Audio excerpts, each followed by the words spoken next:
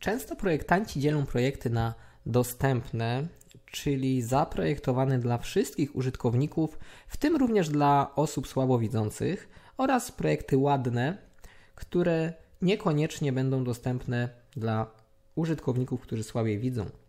I w tej lekcji chcemy znaleźć taki jakby kompromis między dostępnością a estetyką. W określeniu dostępności może pomóc Ci ta strona, gdzie mamy tutaj taką miarę kontrastu, tak? Kontrast, y, jeśli jest zachowany w projekcie, pomaga użytkownikom słabowidzącym dostrzegać pewne elementy w projekcie. I tutaj tak, kontrast między bielą a szarością, jak widzicie, jest jak najbardziej odpowiedni. Zaświecony tutaj został na zielono. I przyjęło się, że kontrast, jeśli chodzi o tekst do 18 pikseli, miał stosunek co najmniej 4,5 do 1.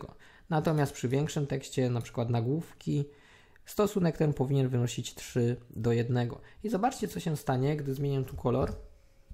Od razu nam spadł kontrast na bardzo niski i na pewno taki element nie będzie dostępny dla użytkowników, którzy mają problemy ze wzrokiem. Zatem jak projektować, by znaleźć ten kompromis?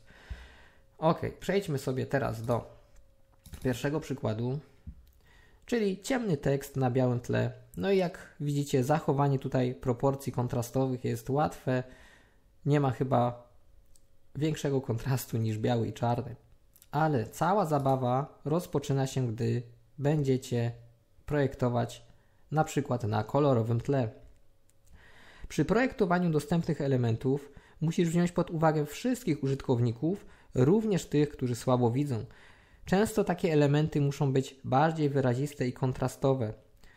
No i czy przekłada się to na ich estetykę? Niestety bardzo często tak. Zobacz teraz na projekt stworzony z myślą o utrzymaniu dostępności i zachowaniu wysokiego kontrastu.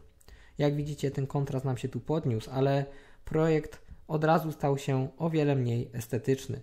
Wydaje mi się, że tutaj ten napis wyglądał bardziej jakby był ładniejszy po prostu, tak, niż tutaj ten czarny tekst, który znów posiada większy kontrast. Tak więc tu mamy formularz stworzony z myślą o utrzymaniu dostępności do, dla wszystkich. Natomiast zobacz na drugi przykład, gdzie postawiono na pierwszym planie estetykę. Jak widzisz, kontrast nie został tutaj zachowany, ale wizualnie ten projekt jest o wiele ładniejszy.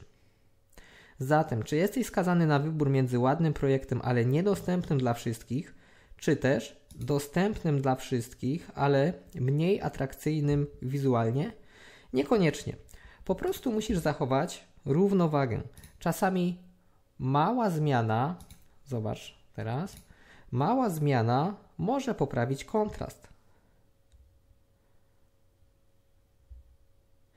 Widzimy tutaj, troszkę przyciemniliśmy tło i od razu tekst został bardziej skontrastowany.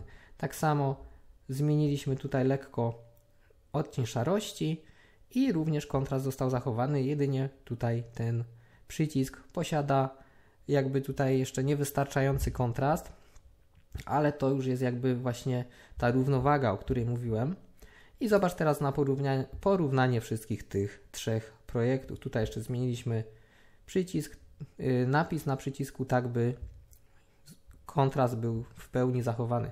I tutaj mamy najmniej estetyczny moim zdaniem, ale kontrastowy projekt dostępny dla wszystkich. Tutaj mamy na pierwszym planie estetykę, gdzie kontrast nie był zachowany, a tutaj mamy wspomnianą równowagę. I kolejny przykład. Gdy używasz białego tekstu na kolorowym tle, bardzo często nie będziesz mieścił się w normach kontrastu i tak jak w tym wypadku, niby wszystko jest w porządku, tekst jest dosyć czytelny, ale kontrast mówi nam, że nie do końca. Nawet jeśli wydaje Ci się, że całość jest dobrze widoczna, narzędzie do kontrastu oceniło dosyć negatywnie ten kontrast.